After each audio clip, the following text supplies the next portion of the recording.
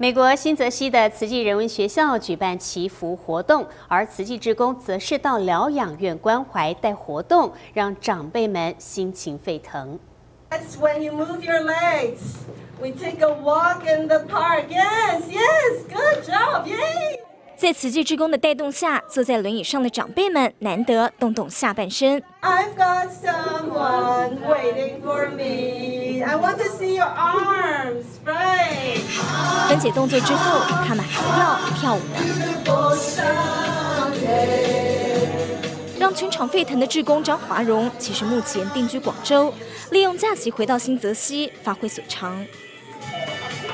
职工们跟着他现学现卖，疗养院洋溢温馨。